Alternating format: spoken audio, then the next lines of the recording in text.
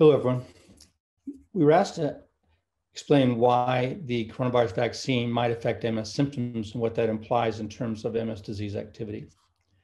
To understand this, I'd like to spend a few minutes just talking about how the nervous system is structured and how that is impacted by environmental changes and how that particular biology changes in the setting of MS.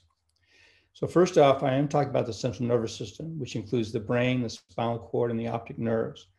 And they're called the central nervous system because they have two unique cell types that are not found anywhere else in the body. And this is not the neurons. Neurons are found in other organs. But in the central nervous system, they have a cell type called an oligodendrocyte, which is a cell that actually makes the myelin, which is the insulation material around the nerve fibers, and which is damaged in multiple sclerosis. Now, the peripheral nerves use a different type of cell uh, to make myelin. The other cell type in the central nervous system that's unique is the astrocyte. And the astrocyte is a cell that creates a very special environment in the brain that allows nerve cells and oligodendrocytes to work optimally. It basically builds a cocoon around neurons and oligodendrocytes and regulates nutri- nutrients, toxins, um, and other molecules in those areas so that the neurons and oligos work optimally. Now, the because of that, those astrocytes, in general, the nervous system is relatively impervious to minor changes in the environment the person's in or in the microenvironment inside the person in terms of function.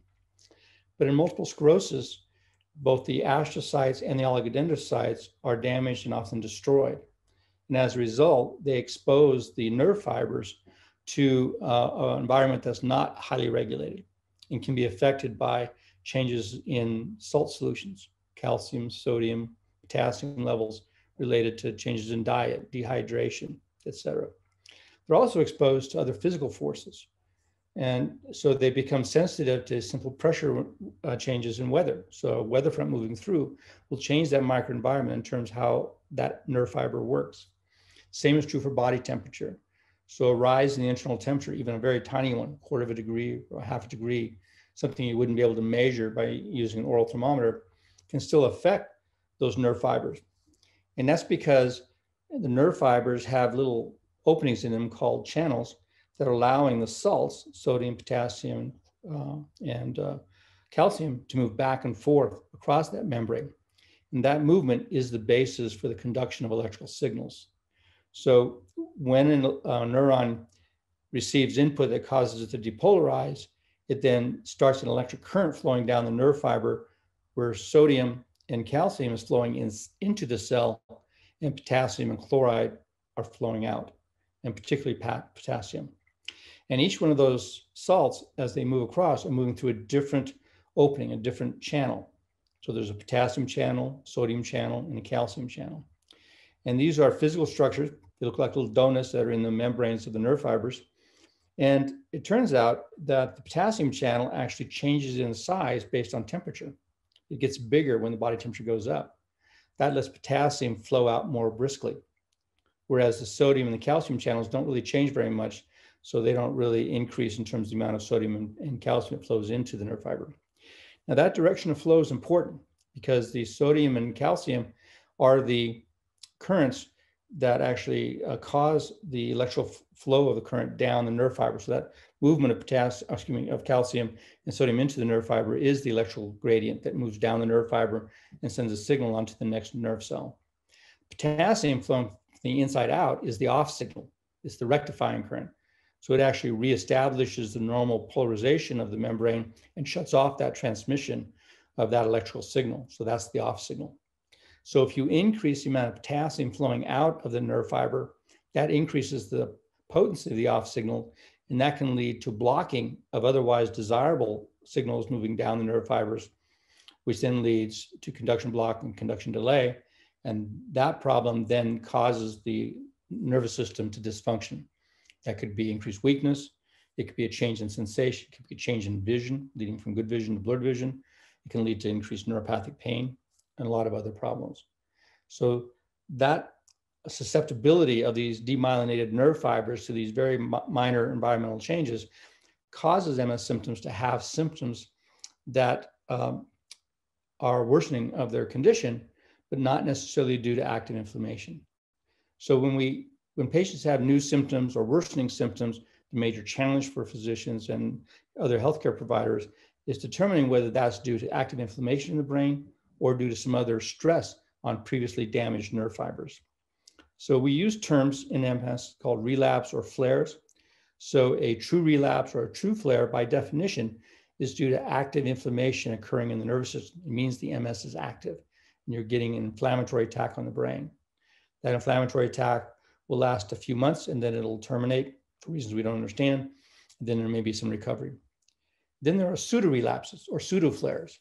And these are where symptoms are worsening, but it's not because there's new inflammation. It's not because there's new damage occurring in the nervous system. Rather, it's due there's some stress that's changing that microenvironment around these demyelinated axons or nerve fibers that leads to them having more short circuiting and more conduction block and conduction delay. So distinguishing between these is not easy.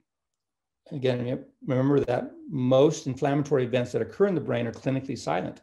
90 to 95% of new inflammatory uh, foci in the brain or areas of inflammation are not associated with symptoms that either the patient or the physicians recognize. We only see them when we do MRIs, but they are damaging the nervous system. So there is this capacity of the nervous system to buffer for the inflammation. And that means that it's sometimes very difficult to tell whether a new symptom is due to inflammation or due to environmental change, mainly because it doesn't localize, it's not crisply defined, or doesn't have other characteristics that we tend to associate with focal areas of active inflammation. So um, MS patients are very susceptible to change in symptoms due to inflammation on one end of the spectrum, and then due to environmental changes, which means change in body temperature, change in weather, change in nutrition, and many factors which we don't understand that can cause worsening or improvement of symptoms. Now, the coronavirus vaccine is a little bit complicated. Um, so there are a number of things that happen in the body when you get a vaccination, and particularly a potent vaccination like are available for the coronavirus. Uh, these vaccines are probably more potent than most vaccines that we actually use. And they cause several things to happen. One is, is that the inflammation that's responding to the vaccine actually releases factors that cause the body temperature to go up. It may not go up to what we would consider a fever. So in medicine, we define fever as a temperature above 100.4 Fahrenheit. Uh, but normal temperature is around 98.6 in terms of core temperature. Oral temperatures and skin temperatures will be different depending on your environment but core temperature is right around 98.6. And uh, a simple rise to 99 to 99 and a half is enough to cause MS symptoms to worsen.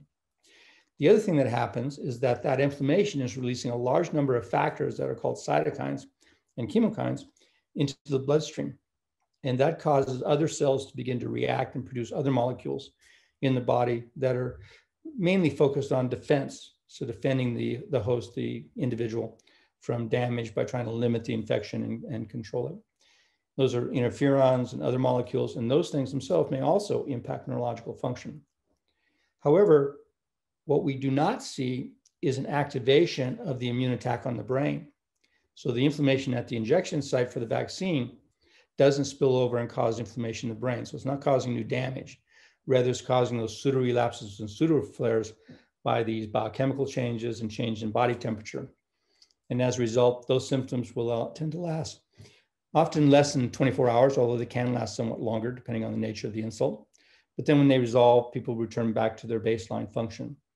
Whereas a new relapse will resolve, but often leave people with now new health, new symptoms and new disabilities. So pseudo relapses need to be managed, and there are different things you can do. In the setting of the coronavirus vaccine, you can take Tylenol, which is two of the 325 milligram tablets every four hours for the first 24 to 48 hours after the vaccine to try to minimize that body temperature fluctuation. You can also use ibuprofen at a dose of 400 milligrams, which is two tablets, uh, every six hours for the same 24 to 48 hours. You want to stay well hydrated.